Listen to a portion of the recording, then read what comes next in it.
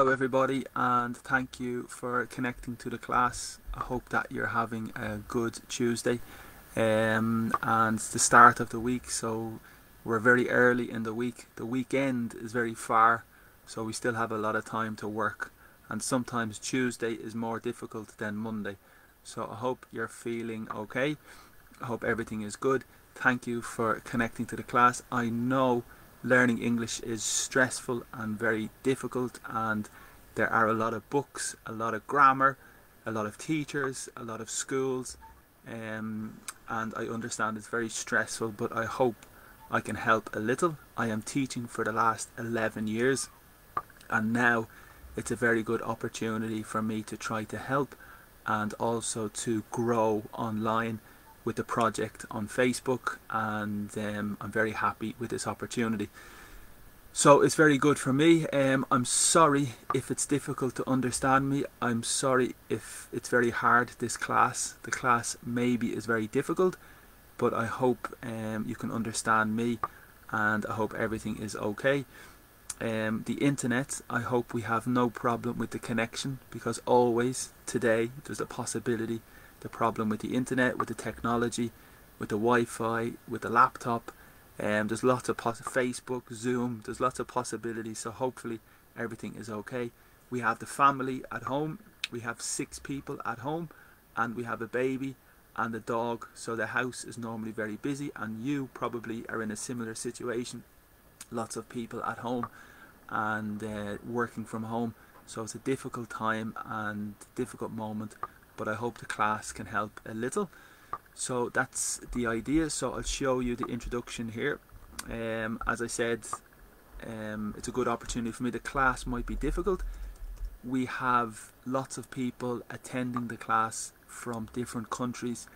Um, people from Brazil, Spain, Indonesia, um, Vietnam, Thailand. So it's a challenge for me, it's difficult for me because I understand there's lots of people with different levels and lots of people with different uh, mother languages. So it's an extremely difficult job, but I try to keep in mind all the time um, this this factor, and I hope you can learn a little. Okay, um, so even today, I think we have a group from Romania. I think every day we have some people from Romania that watch the class and for me it's fantastic. So hello everybody. And last night I was walking in the city centre in Dublin with the dog and I spoke with one person on the street. He was a bus driver from Romania living in Dublin and he lived in Italy before but his English was fantastic. And he said his he learned his English from the street from the people and his level was very very good. So um, there's lots of different ways to learn. There's lots of uh, possibilities and lots of hope. So it's uh, a good example last night. Then after that man, I met two people from India. And again, the people in India generally have very good levels of English. So very interesting. Today, the weather is very windy and I'm a little worried for the roof. I hope the roof can stay on the on the room because it's very very windy today and that's more or less the introduction. So if you want to participate it's possible during the class. If you want to participate to practice your speaking I invite you I invite two or three people we can connect during the class to practice some speaking and I can give you some advice and some recommendation to improve. And this is a good opportunity for everybody because everybody can learn a little from the speaking practice. So there's the possibility with Zoom um, here is the ID for uh, the Zoom meeting, okay, and also my ID for Skype. So if you want to connect, they are the details.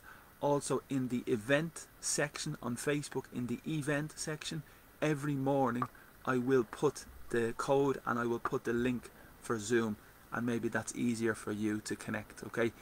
So that's possible to participate. For me it's a very good opportunity also social media. So I have um, I'm hidden here so I have the YouTube channel because some people prefer YouTube and the name on YouTube is Ad Meliora and maybe that's a good possibility because I think a lot of people prefer YouTube and the same content is available on YouTube as Facebook more or less. The only difference is maybe some pictures okay? For pictures Instagram page. The Instagram name is admeliora and more or less the same content as well. A little uh, information and you can see the picture from this morning here on the left. So we have uh, Facebook we have YouTube and we have but Twitter is very uh, different and um, but it's the same content more or less on Twitter and everything okay so if you want to connect on the social media that's a good possibility. And again today for Zoom the ID and the Skype uh, code as well. So let me show you my screen because at the beginning I want to give you a little introduction. Okay so I'll share the screen. And every day because it's very important. And we do the same topics every morning. I think we have a little problem with the computer so one moment I think there's a little delay. I hope you can still hear me. So basically yeah there is the document for the introduction. And every day this document is very important. Some of you of course are very familiar with this document. And maybe you at this moment could tell and could explain this document because you are so familiar with the document. But for new people it's very important.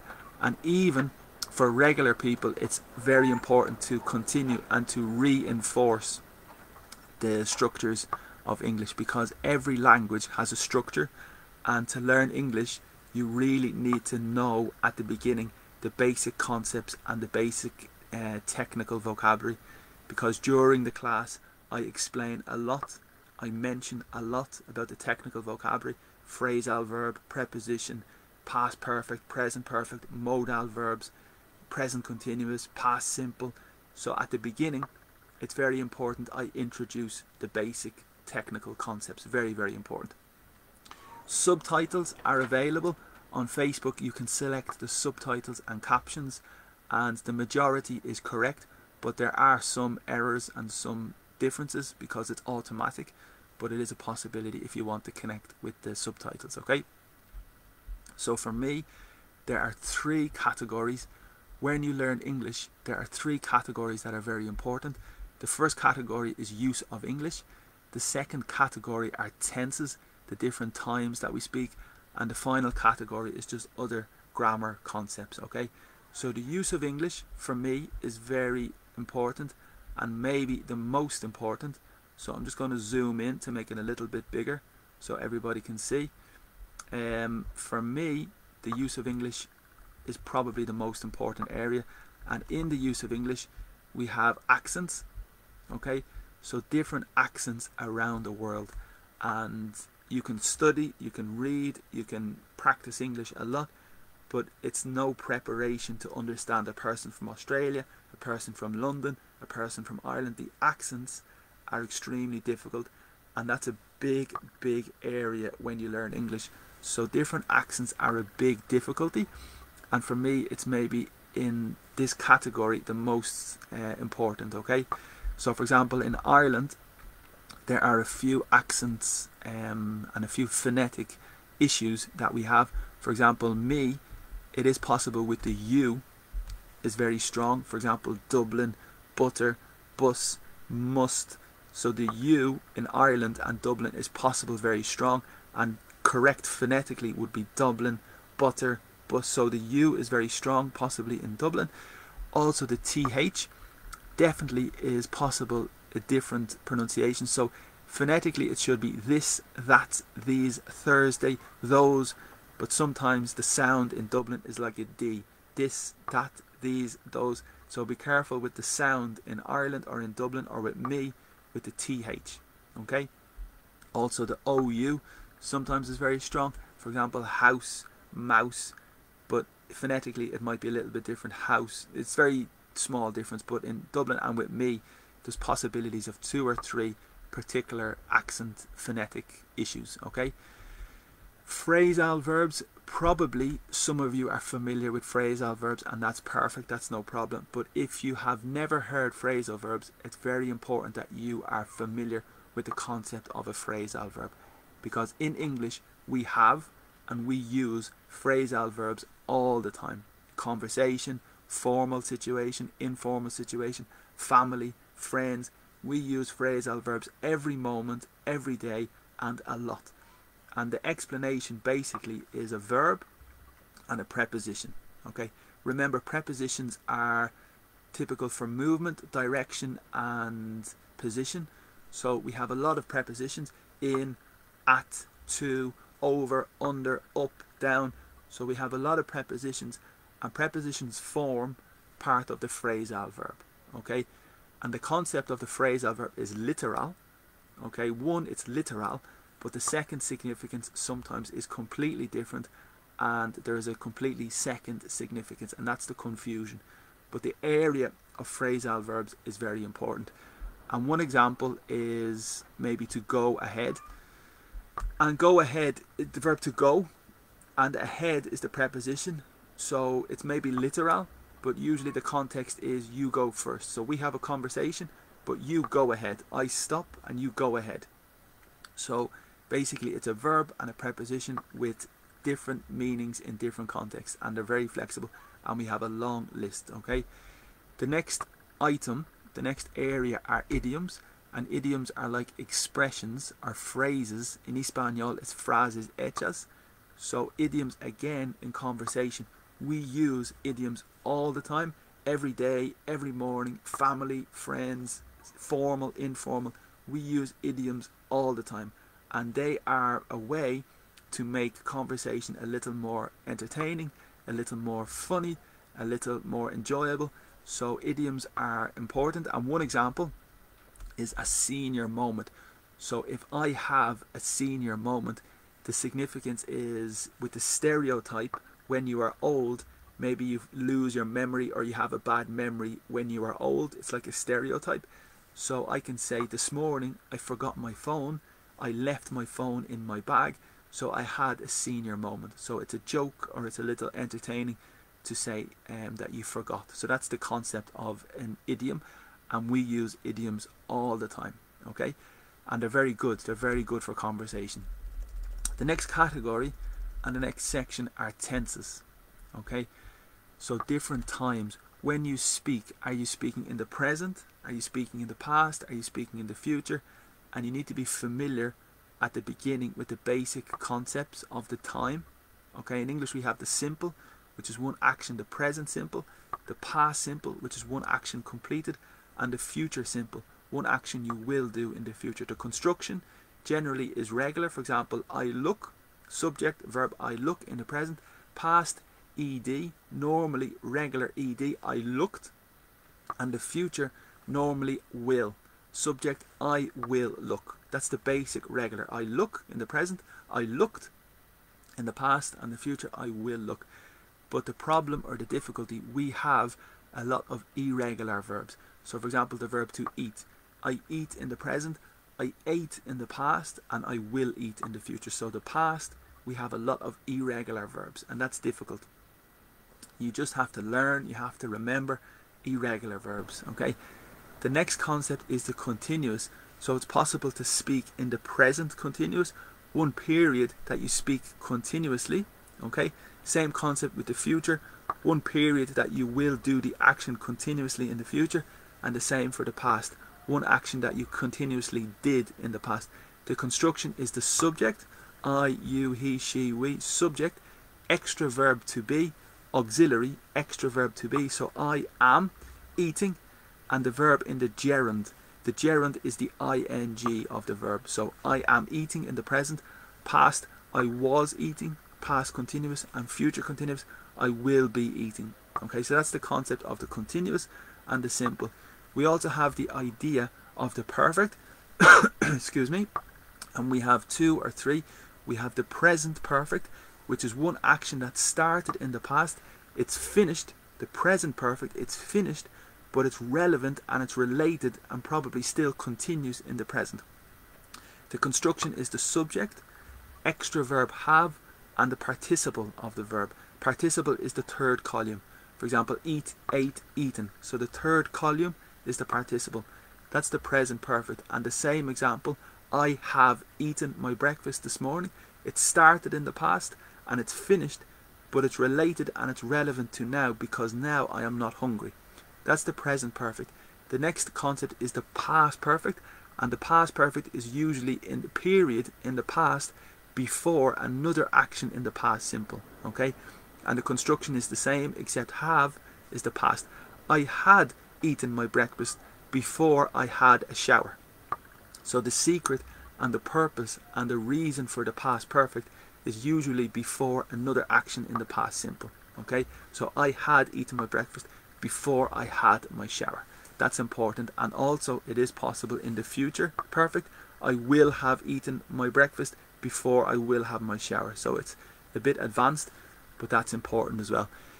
The other principle and main ideas for the tenses are the, is the infinitive, the conditional, and the active and the passive. The conditional, in the theory for the conditional, it's a little complicated. In the book, you have the zero conditional, first conditional, second conditional, third conditional, mixed conditional. And in the book, the rules are a little strict and a little difficult, and it's a very hard area to study the conditionals.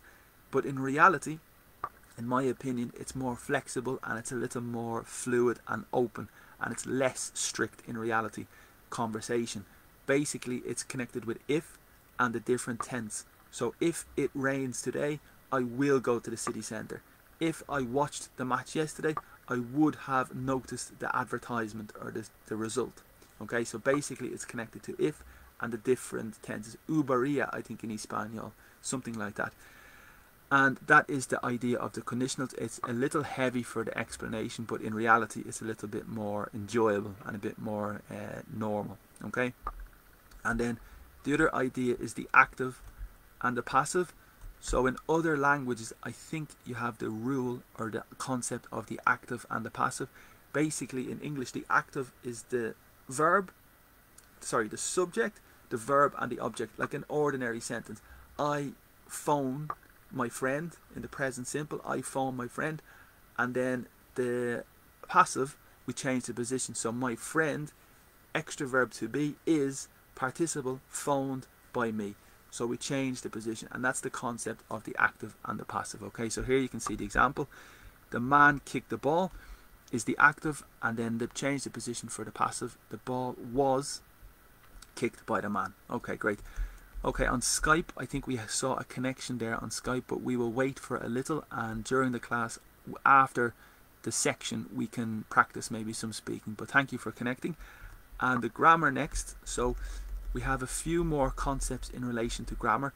You need to understand what is a noun and what is a substantive.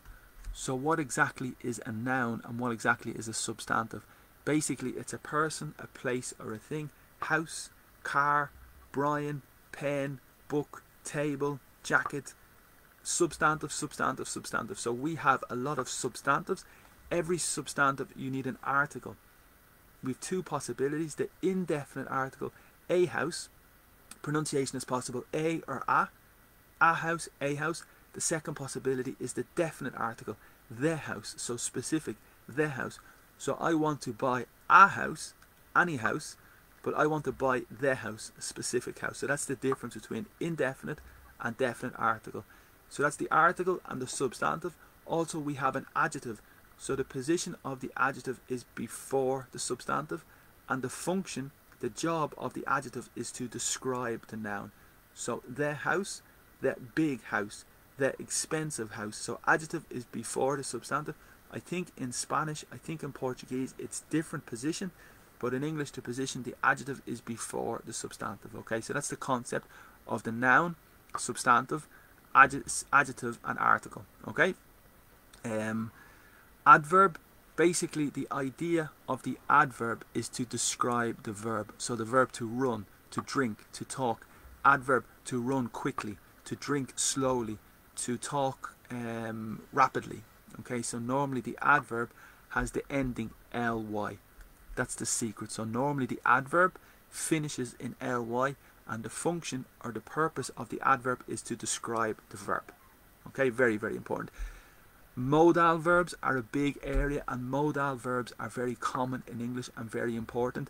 they are basically connected to ability, possibility, permission, recommendation, and advice. So there's five or six areas. Obligation is another. So first, can is usually for ability. So I can't play the piano.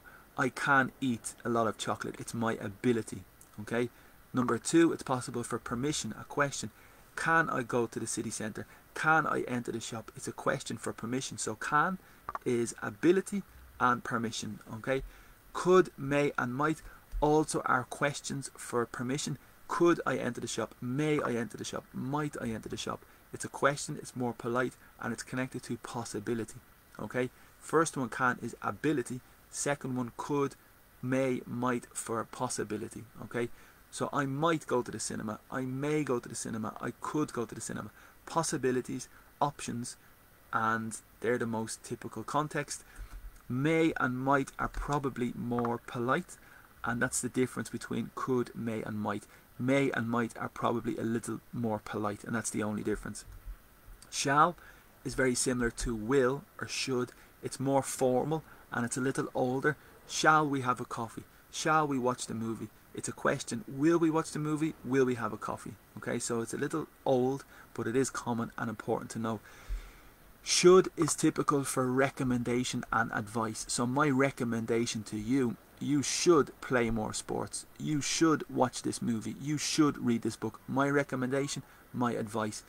The pronunciation of the next verb ought to, the G is silent, but the significance is the same as should. You ought to play more sports. You ought to watch this movie or you ought to read this book. So it's for recommendation and for advice, okay? Must, and again the pronunciation in Ireland for me, sometimes it's possible must, so it's very strong accent. You can say must, but correct is must. So be careful in Ireland with the pronunciation of you. It's not a mistake, it's not a problem, it's just a little different, okay? So must is for obligation, the modal verb. I must collect the children. I must watch the movie. I must go to my friend. It's obligation and I have no choice. And the same is the, is the same with have to. I have to collect the children. I have to watch the television. I have to read the book. Obligation, okay? So prepositions, as I said at the beginning, prepositions basically are connected to movement, direction, and position. Okay, so I am in the room, I am on the chair, um, the computer is on the table, the dog is in the house. Okay, the ball is on the table, under the table, over the table, below, beside, in front of. Talk to you. Okay, direction, travel. Again, you're traveling, but movement and direction travel to Dublin.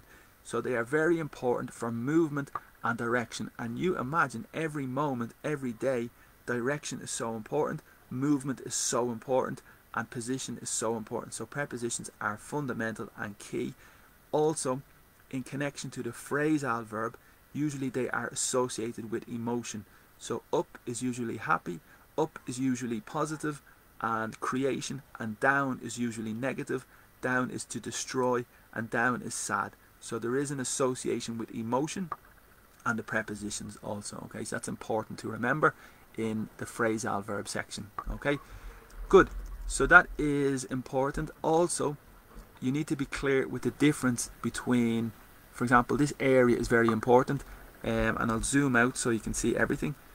So, for example, it is my house, it is your house, it is his house, but the house is mine, the house is yours, and give the house to me, give the house to you. So the pronoun, you need to be clear the difference between the possessive pronoun, the possessive adjective, and the object pronoun. So they're the three that are the most confusing. And honestly, I have heard a lot the confusion many, many times. Okay, so you need to be very clear and pay attention, especially the difference between he, she, him, her, his, hers, Okay, so that's a typical confusion, and I recommend that you study and try to recognize and try to identify the object pronouns and the possession pronouns. They are very interesting, okay? That is important. Also, the difference between this, that, these, and those. So, this is singular here, that is singular away, these is plural, and those is plural substantive. So, this book here, this book, that book in a different position, plural these books, and plural those books. So you need to be very sure and very definite with the difference. Okay. Um, a little detail with another, other, the other, and the others. Very important detail. So another is usually for singular substantive. Another day, another person, another week, another year. And other is usually for the plural. Other days, other weeks, other years, other people. That's the basic difference between another and other. The difference here with the other is possible with a selection. When you have a choice of two things, do you want this coffee or do you want the other coffee? I will have the other coffee. So when you have a selection or a choice of two things, it's very typical, not this one, but the other one, okay? And here we also have the others. So the others is the group of people. So do you want to travel to the city with us or do you want to travel to the city with them or do you want to travel to the city with the others? Okay, so very important. The detail is very different. The suffixes and prefixes, in my opinion, are a big area and they help you a lot. If you study and are aware of the suffix and the importance of a suffix and a prefix, this will help you a lot because the typical confusion is the confusion between adjective, substantive, and the little detail at the end is the big secret. Okay, so for example, the suffix ans is typical substantive. The importance, for example, so that's a substantive. IZE is typical of verb to realize, to fantasize, to uh, monetize. So IZE normally is the infinitive of the verb. ABLE is normally adjective, manageable, okay? Adjective. LY is typically the adverb, quickly, slowly. So this is an important idea, an important concept to recognize the difference between noun, verb, adjective, adverb, and I recommend that you try to recognize and pay more attention to the suffix and the prefix. Okay. Um, linkers. So you have one sentence and another sentence, and we have a lot of vocabulary to link and connect two sentences, and this is very important, and it will help you a lot because we use linkers a lot. For example, however, furthermore, in addition, and, but, as well as we have a lot of linkers and that's a big area to understand also okay? And that's it. So that's the most important introduction for today. Also writing is very important skill and ability and I recommend that you try to practice some writing and hopefully you can find somebody to correct your writing. And again I'm available to check your writing and to try to help with some writing and show everybody the corrections. And then exam preparation are very popular. Cambridge exams, the first certificate, advanced certificate, proficiency. These exams are very popular and I have experience with these exams uh, preparing students. And it's possible in the future we can create some classes. So if you are interested uh, let me know and the IELTS exams as well are very important and very possible. Okay? So that's the introduction for today. Now I want to continue with this book. So this week I chose a book okay from home. I have this book and the story basically is an autobiography. It's a story about this person and he is a football manager and the vocabulary is very conversational and very good for informal and very very real conversational English. That's the reason I think it's very good. Yesterday we started on the page here you can see on the screen and today we will continue a little. Okay so I'm going to show you where we stopped. Yesterday we stopped at barely you remember the explanation barely so I'll just review here I'll show you my notes. Barely is like casi nunca in Espanol and also we have the word bare as an adjective and bare is like uh, naked so you can say the room is very bare and the significance is the room is empty almost naked okay so bare is the adjective for almost naked or empty. The room is very bare. The wall is very bare.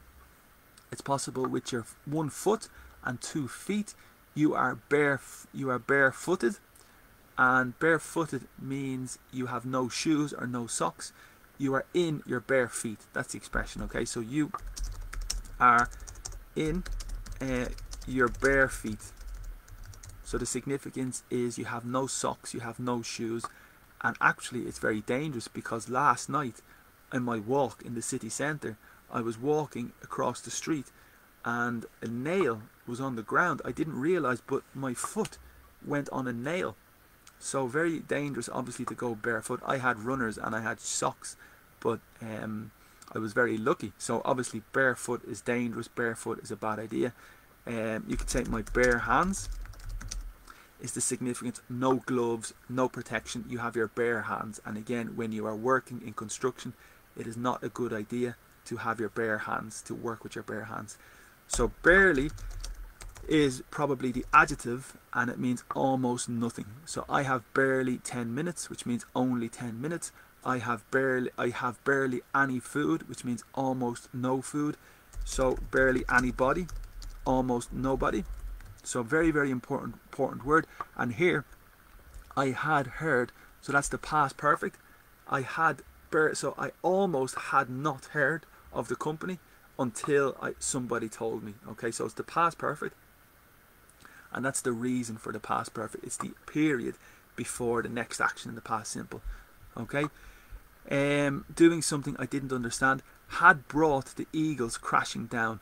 So I will just read the end of this paragraph so you can understand the pronunciation, and we will read first, and then I will return to the vocabulary and the analysis. Okay, so had brought the eagles crashing to earth as thoughtlessly as a farmer shooting pigeons, but I've always believed that in life things happen for a reason, and that day launched the most extraordinary years of my career. After 42 years in football, from Northern Premier League to Barclays Premier League, I thought I had seen it all. I was wrong. Okay, so to bring somebody crashing to earth, that's the expression. Okay, so to bring um, somebody crashing down is an option to earth. So the verb is to crash and it's typical in the car. You have a car crash, okay? And the verb to bring is when you take somebody, okay? And this incident can bring you down. Okay, sorry, I think we had another Skype contact, but we'll do that later. So the verb to bring and the phrasal verb is to bring me down. For example, the weather, the very bad weather at the moment is bringing me down it's making me feel bad and it's making me feel sad. That's the expression to bring somebody down. That's one possibility for sad. And the second possibility is um, sad and also maybe to your level. So your behavior is very, very good. Your behavior is very, very good. And this person's behavior is very, very bad. And the actions of this person bring you down to their level. So it's possible for behavior and reputation, but also for sadness because you're very happy and then the bad weather brings you down. Okay? It's the same in the opposite. To bring you up is possible to make you feel better, possibly. Okay? Um, so this expression, when you are happy, when you are dreaming, when you are very, very successful, you are very high. And then the bad moment in this context, like the football, the bad moment brings you crashing down to earth, to reality. So it's very creative, very descriptive, and I think you probably understand the concept more or less, okay? Um, again, we say to bring you down to earth is typical as well. So bring you crashing down is more descriptive, but to bring you down to earth is possible as well, okay? And you can say about the person, the person is very down to earth, very typical expression and the significance is like very real, very humble. The expression is humble, humilde in Espanol. So the person is very down to earth, means they're very realistic, they're very generous, they're very considerate, and the opposite is maybe arrogant. Okay, very arrogant but very down to earth. Okay, and um, there is another expression you could say salt of the earth. So the person is the salt of the earth, and it means very real, very authentic person. Okay, salt of the earth person which is possible and the significance is very real, very authentic and very genuine person. Okay, so he is the salt of the earth. It's very typical in conversation. Okay, here uh, thoughtlessly, again the ly is the suffix, so it's an adverb, and then the less is another suffix, means without. you can say jobless, homeless. Um, okay, so jobless, homeless, basically means the significance without, without a job, without a home. So, for example, thoughtless is the significance of without thinking. So your behavior was very thoughtless. You were very thoughtless. You did not think about me. You did not consider me. You did not consi consider your friend. And the pronunciation thought, th, th, thoughtless, and the t there. Okay, so this is very advanced word. Thoughtlessly, as a farmer shooting pigeons. So the verb is to shoot. Also, the farm in Espanol is the granja, and the farmer is the person. Okay, the farm is the place with the animals, it's the location, the place with the animals. The farmer is the person because normally the person, the suffix is er. Normally the suffix er is the person and it is possible or as well. For example, doctor, so you can have er or or and that's the person, for example, painter or doctor. So it's a little irregular, it depends. You need to be careful of the suffix and that's another good example okay? But here we had the previous word and I go back to the to the text. I'm to go up to the top. Okay so again the verb to shoot which is with the pistol you have the pistol and you shoot but the past simple is irregular shoot shot okay? And the participle is shot shoot shot shot. So the past is shot and the substantive is a shot okay? So it's very important with the pistol and it's also typical in sport. If you play handball if you play tennis you say a good shot okay? A good hit a good shot. And in soccer or football a good shot okay so that is interesting and important and pigeon is the type of bird okay a pigeon um in life so the preposition in my life in your life that's the typical preposition for life and again, remember the difference between the verb to live is the verb to live. My life is singular. Our lives is plural. And the verb lively or alive. So the ver the family is very important for pronunciation and for the difference of the noun, the verb, okay? Um, and we did that yesterday. You can check the video yesterday as well. Okay, so the expression is to happen for a reason. Everything happens for a reason. Very typical expression. Um, you can also say faith. It was destiny. Okay, it happens for a reason. So the significance is destiny. And we have another word in English, faith. So you need to be very careful because faith is the same as destiny or happens for a reason. But we have another word which is faith. So the pronunciation is almost the same. Practically the pronunciation is the same. But the second significance is like religion. You have your faith, it's your belief. Okay? So faith is your belief, your religion, but this word faith is your destiny. Okay? Um, and again, this expression happens, everything happens for a reason. It's very famous. It's very typical expression, maybe for a tattoo or for um, a typical expression, okay? The next word is one of my favorites from the text, definitely. The verb to launch. And that day, so this day, but that day, launched the most extraordinary years of my career. So the verb is to launch, and maybe immediately you think of the verb to lunch. So it's completely, completely different. The verb to lunch is obviously with the food. At one o'clock in Ireland, we have lunch, but at three o'clock or two o'clock in Spain, you have lunch. But it's completely different from the verb to launch. You can see the A to launch. And the context is typical with the rocket. NASA, you know the big uh, astronauts and the the space company. You have NASA, and the typical with a rocket, you launch a rocket. I think in Spanish it's maybe tirar. So to launch a rocket is like throw a rocket, but we use this verb in relation to your career. So if you start your career, you launch your career. Okay, so it's the beginning of your career. It's typical for a career. It's typical for a movie we launch the movie is like to release the movie, estrenar, similar to estrenar, or a party. If you have a if you have a new book and you are publishing the book, you are releasing the book, you are launching the book, it's possible to have a launch party. So the party to celebrate the start of the project, the start of the book. So it's very, very important. It's typical for a rocket. It's typical for a movie, to launch a movie. It's typical for a party or a book. Okay, so very, very uh, flexible. A launch party is very famous. If you have a new disco or a new bar or a new pub, you can have a launch party, which is the celebration to begin the business. Okay, in this context, you can say a house warming, which is a little different. A house warming party. So the verb is to warm, and the adjective also is warm. So adjective is warm, it's the sensation you're feeling. It's similar to hot, you're very hot, but you're very warm. And the verb is to warm. So the expression is a house warming party. And this is the expression we use when you have a new house and you want to celebrate the new house. You invite your friends, you invite your family, and you have a party.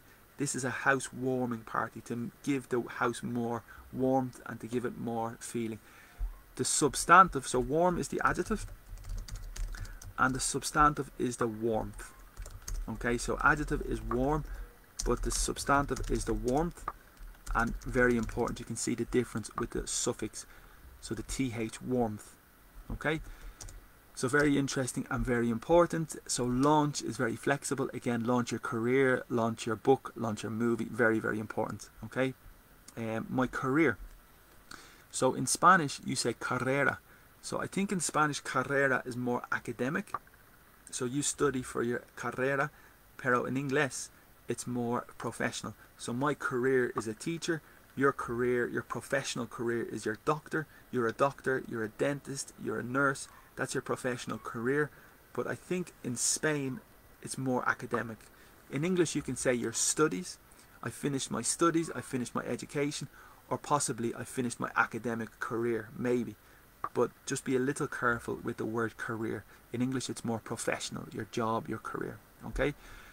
After, no problem, that's just a preposition. After 40 years in football, in business. Okay, so just the prepositions. From is connected with to. So from the bottom to the top. So from and to. And remember the difference between from and since. Since is usually one moment in the past, since 8 o'clock in the morning but from is usually two moments from 8 o'clock to 9 o'clock. And here we have an example from and to okay? Another expression I thought I had seen it all. So this is the verb I had seen which is the past perfect. And remember the past perfect is usually the period before the past simple. And here it's I had seen it all. I thought okay and it's a famous expression as well um, for example, in conversation with family, if I walk into the room with maybe yellow hair, I change the colour of my hair and it's a big surprise and my family say, whoa, now I have seen it all. Okay, it's very typical in conversation. I have heard it all, I have seen it all. So you are surprised with nothing. Okay, very typical in conversation. That's the reason I identify it here as well. I was wrong. Okay, wrong is basically the same as incorrect.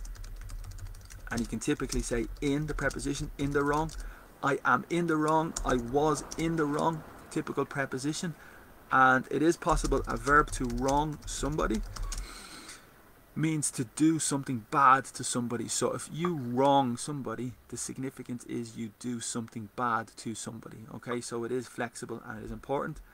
And here we say, um, Okay, so I sat on that flight. I will read this a little.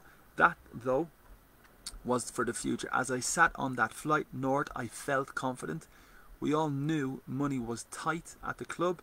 We were only flying as I had persuaded a wealthy supporter to pay for it. But we had been on a good run and fancied our chances of getting. And then it continues. So these four lines are very interesting because we have a lot of interesting vocabulary in this section okay? So first is the verb to sit and I think the majority of people understand the verb to sit. Typically is the preposition sit down sit up. So in school maybe the students are like this and the teacher says sit up. So sit up is the instruction number one. Sit down is when you are standing. Okay sit down. And I think the majority of people understand but the past simple is irregular. Sit sat sat. Okay so sit in the present and sat Flight. For an aeroplane and a flight, the preposition is on. On the aeroplane, on the flight, on the bus, on the plane, on the train. Because originally the plane was a surface and originally the train was a surface, the bus originally was a surface, and the boat originally was a surface, and that's the reason because the preposition on is always associated with the surface on the table, on the wall, on the body, on the face. So that's the reason here it's on for the flight. Okay. Felt again, so the verb is to feel. I feel happy, I feel sad, I feel tired, but the past is irregular. Feel, felt. So again, another difficult irregular verb. And we have a lot of irregular verbs. So sit, sat is the past. And feel is the verb.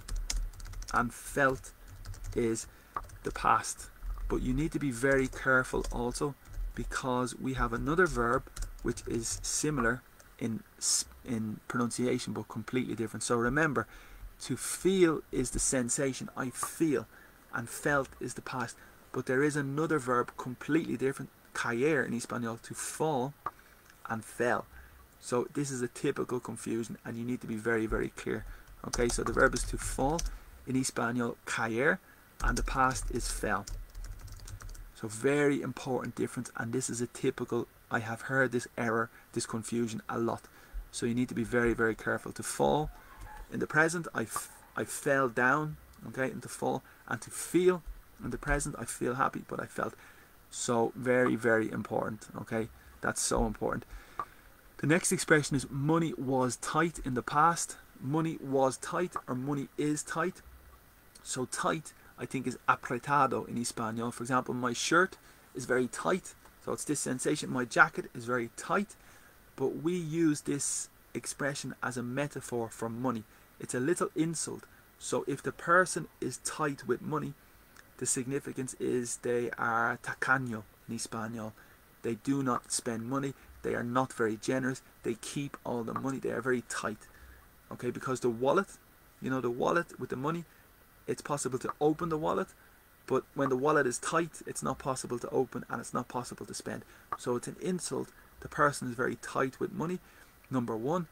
But in this case, money is tight means that you do not have a lot of money. So it's a little different. If the person is tight, they are very mean or not generous. But the situation, the money, if money is tight, there is not enough or there is a lack in falta, a lack of money. So very interesting vocabulary, okay? So in general, tight is for clothes. Your jacket is very tight. Your shirt is very tight. You can say time. Time is tight. So I have a meeting at one o'clock and now it's uh, 10 minutes to one. So we have little time. Time is tight. And for the person, it's an insult as well. Okay. So tight is the adjective and typical for um, money or for clothes and very, very important. The opposite is loose.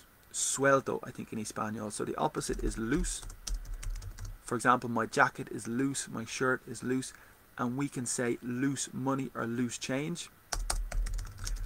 And the significance is money that you have extra, so you do not need this money. It is spare or extra, and spare is very important as well.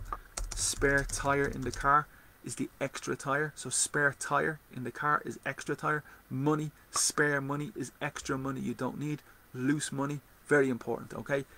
and to spare five minutes is to give somebody an extra five minutes it's very flexible okay not a very good explanation excuse me I think a little difficult explanation but it is important loose and spare okay um, and tight so very important vocabulary and very typical in conversation um, okay here we had the past perfect the verb is to persuade so that is the verb to persuade.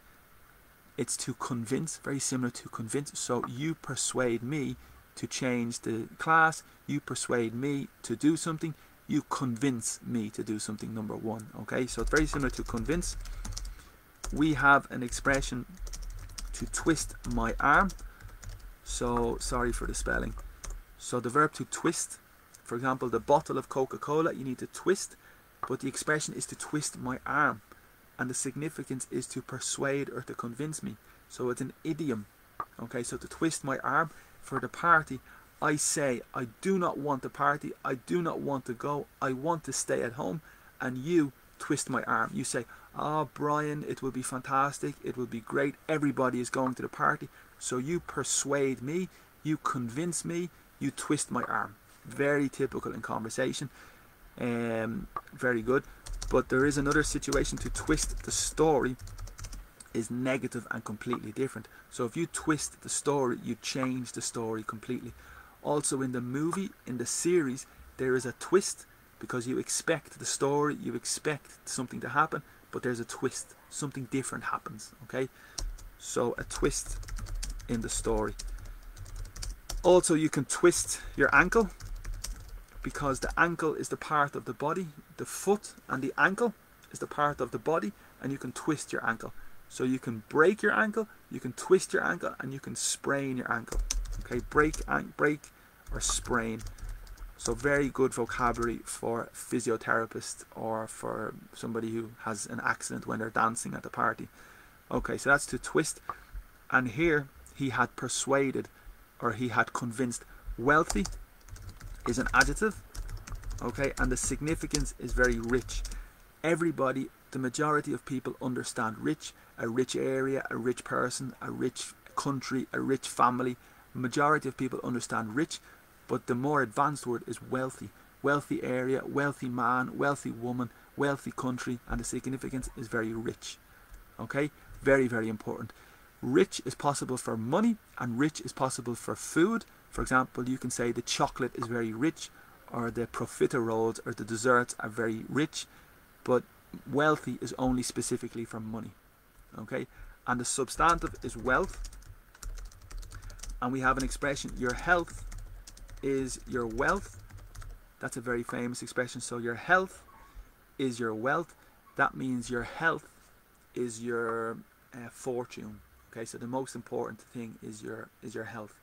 Um, you can say a wealth of experience, and the significance is a lot of experience. You have a wealth of experience. Um, also, you need to be clear between health and healthy. This is a typical confusion. So health is the noun, substantive. For example, the health system, the health department in the government. But adjective is healthy. You are very healthy. You look very healthy. Okay, so the pronunciation again, healthy. Good. So that is important for sure. Um, so I, I had persuaded, past perfect, I had persuaded a wealthy supporter to pay for it.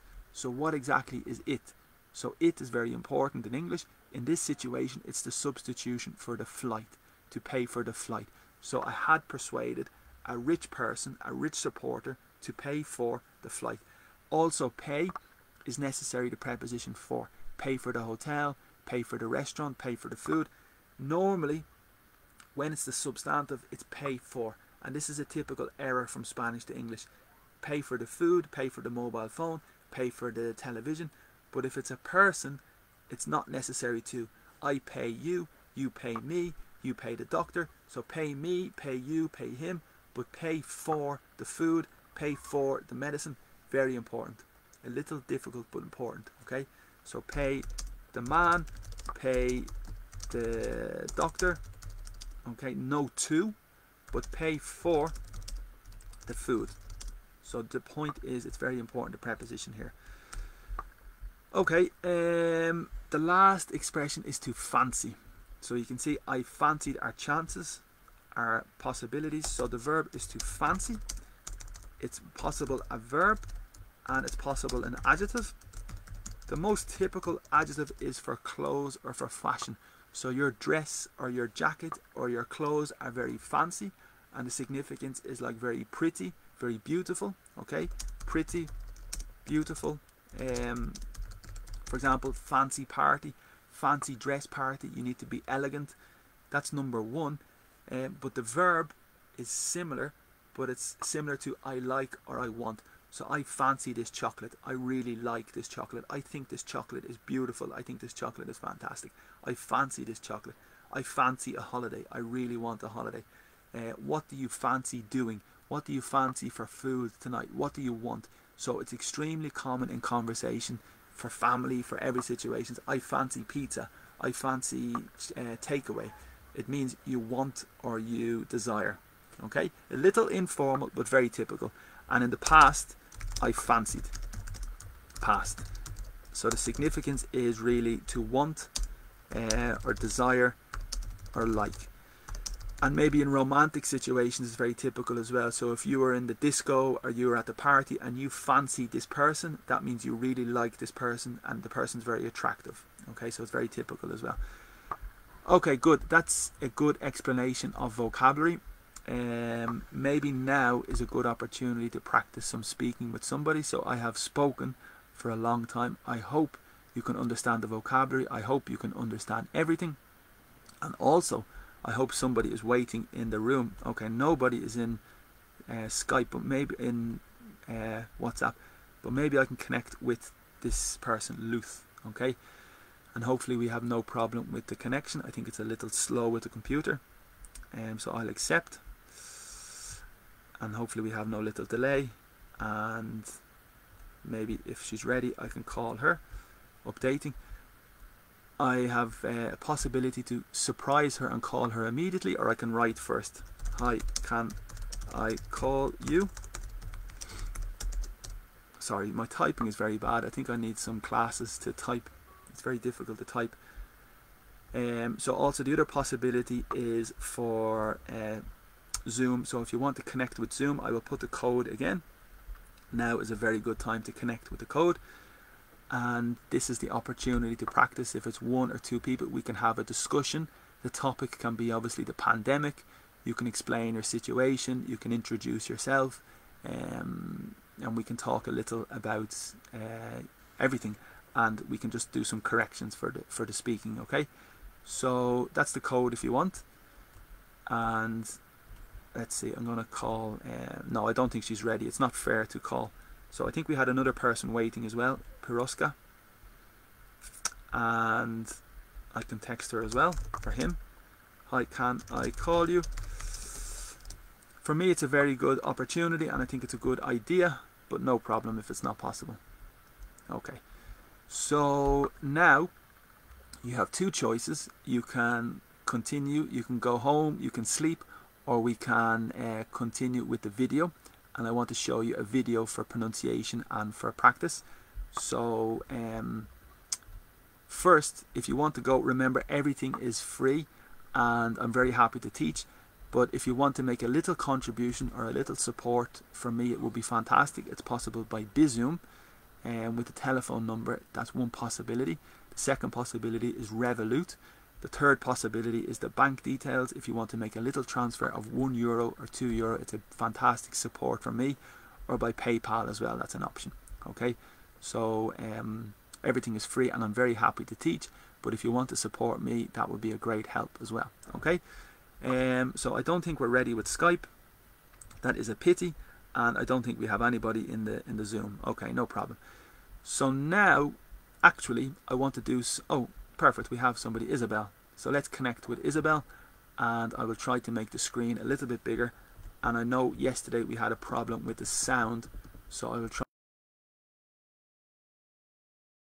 connecting with her uh, phone. So one moment, and I'm going to stop the share for the screen to make it a little bit bigger.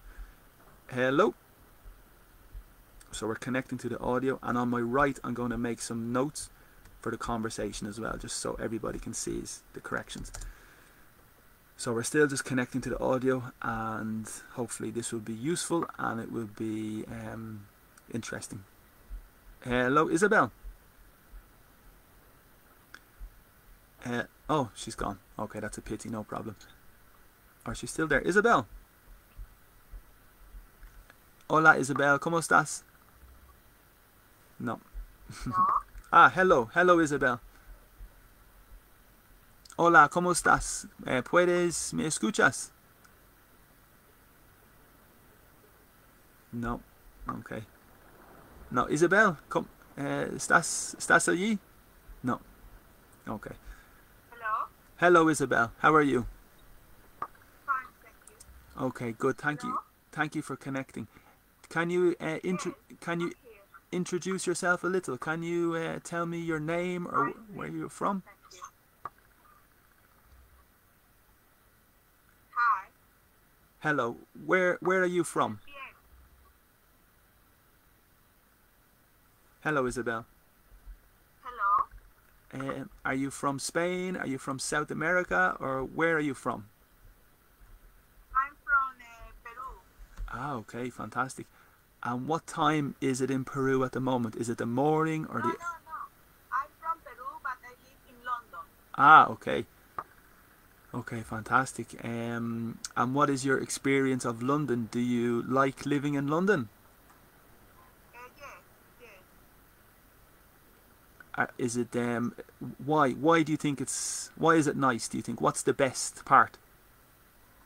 Why is this? Uh, is a- no, I uh, I am living here because I I uh, I came here in 2001 Yeah, and uh, I was uh, uh, living uh, because I have three children, no, yeah, and now I was uh, uh, growing my children, no. yes, yeah, And, and now I am, uh, I was working uh, teaching Spanish from 2012 to 2017, yeah. and now I'm uh, working in a primary school like a teaching assistant.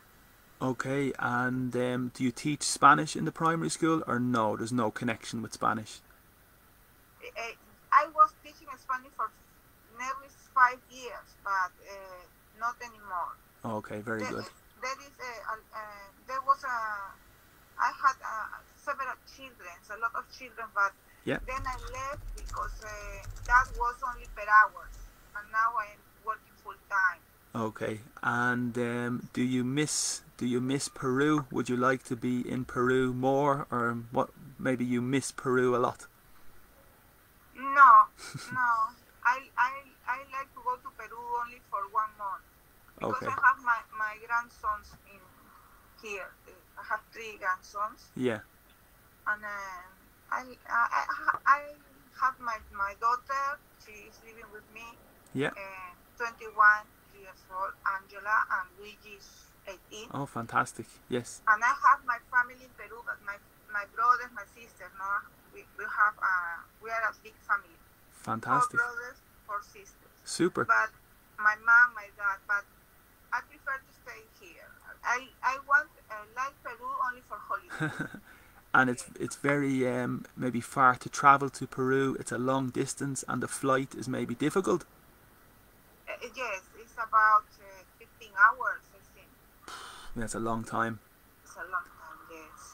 And maybe Peru is nice, the food, the people, all, but the, Yeah. the, you can't find any job there. okay. Yeah. And for example, Spain. Do you like to travel to Spain for the similar culture, or um, because it's yes, yeah? yes, my best, my best friend is from uh, Madrid. Ah, okay, Yes, yes. okay. I, I- I- to have a, I a, lived. have a house. Ah, perfect. I lived in Madrid for a long time, and I returned to Ireland because of the pandemic. But uh, Madrid is fantastic. It's a it's a great. Do you prefer London or you do you prefer Madrid? Madrid.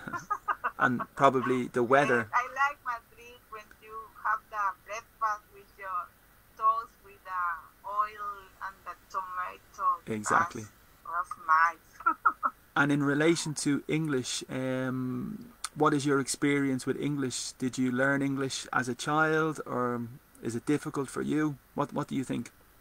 I uh, I I studied in a in, in Peru in a bilingual school, Yeah, but it's different from uh, American English with the British. No, yes, yeah, yeah, yeah, it's completely different. And I like uh, to uh, improve my English. No, yeah. Because you know never we we always uh, are learning. Exactly, exactly. And in London, what is the most difficult thing with the language? Is it easy to understand people, or is it difficult to understand the people in London? No, it's, it's easy. It's easy. Yeah. More Okay. easy than in America. Okay, super. Okay, Isabel, well, it was fantastic to speak to you. I'm just going to show the corrections on the screen. So now I will disconnect from the call, okay? And after the call, I will show on my screen some of the corrections, okay? So I hope you can see the corrections, but in general, your English is obviously super and you're, you're it's, it's fantastic and you're doing very well.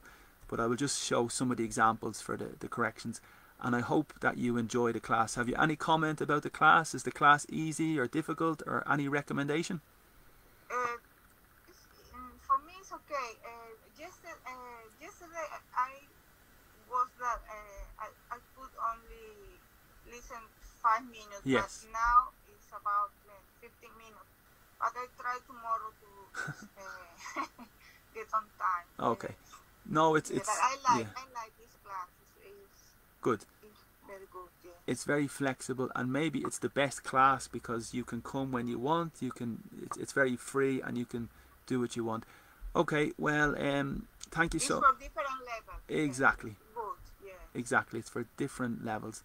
Um, okay, super. Well, thank you very much for calling, and I hope that you have a nice day, and I hope that you enjoy your time in London. Okay. Okay. Thank you. You too. You're very welcome, and talk to you soon. Bye bye.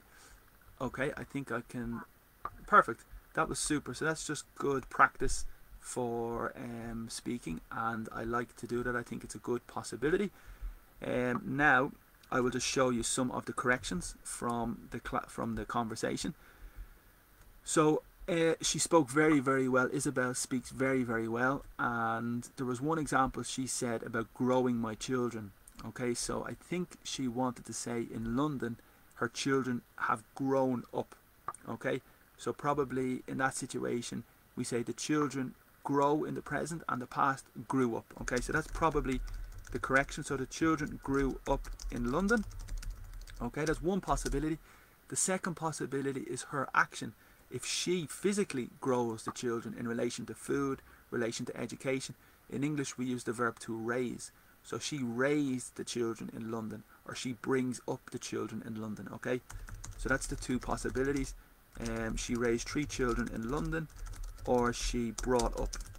They are phrasal verbs. Okay, she brought up three children. So very good examples. But again, her English was really, really good. And then several children. She said this is irregular because we have one child, singular, one child, and two children. Okay. The typical error, the typical mistake is children's. That's the error. So in English, it's irregular, and we say one child and two children. Okay, so very important. So correct is several children. So it's necessary to eliminate the S because it's irregular in the plural.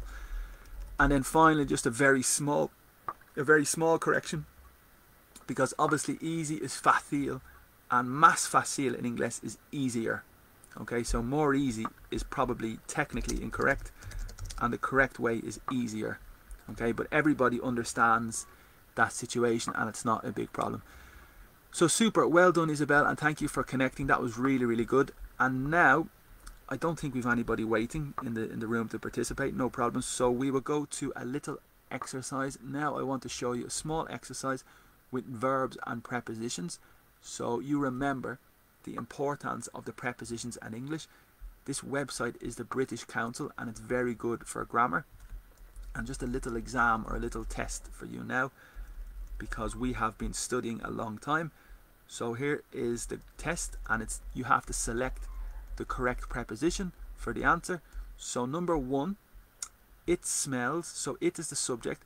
The verb is to smell like oler in Espanol. It smells something so what preposition do you think is appropriate here? What do you think is the correct preposition in this sentence? It smells something coconut in here. Okay? And remember the verb is to smell and the substantive is a smell and the adjective is smelly. Okay? So usually it's negative.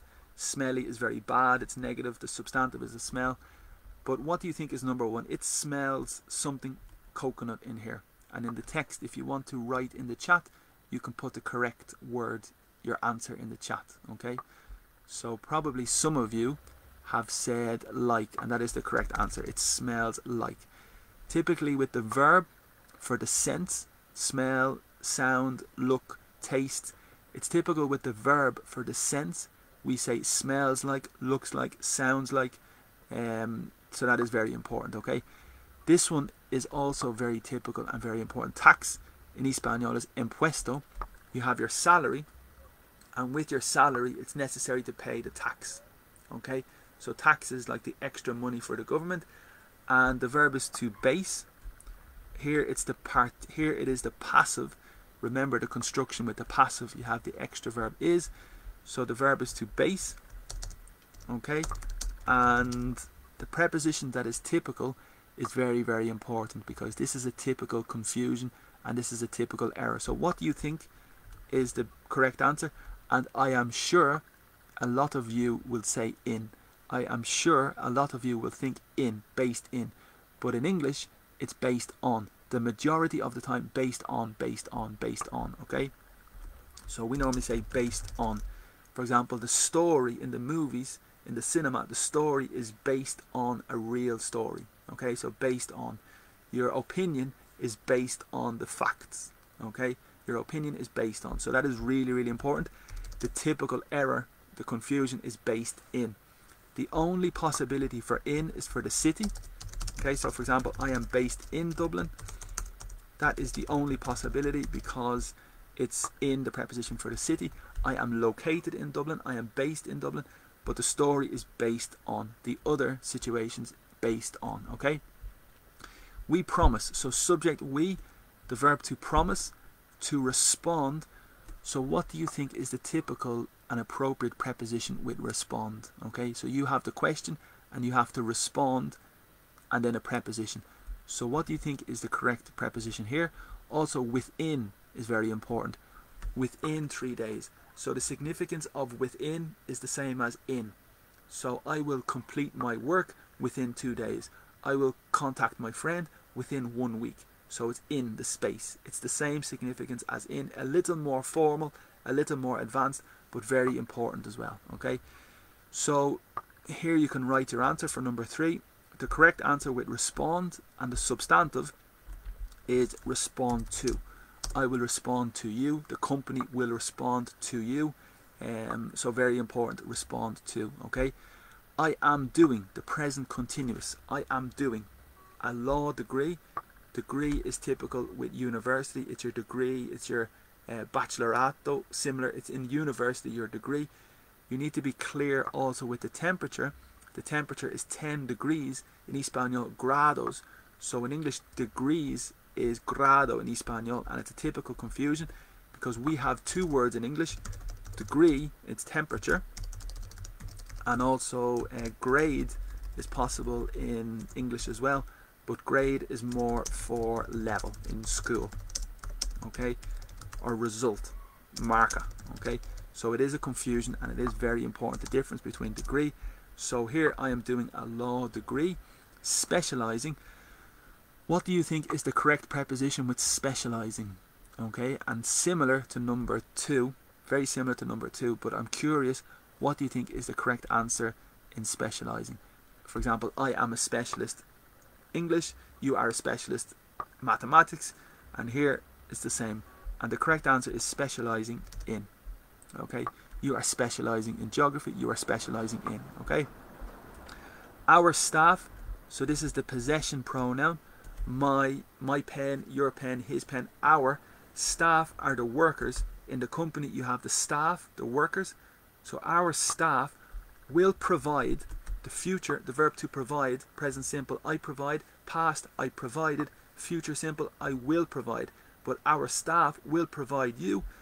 So what do you think is the correct preposition with provide? Okay, and audio guides are maybe just the, the guide, guia, the guide or the instruction for the audio. Okay, so our workers, our staff will provide you, and the correct answer normally with provide provide you with. So now I am providing you with exercises.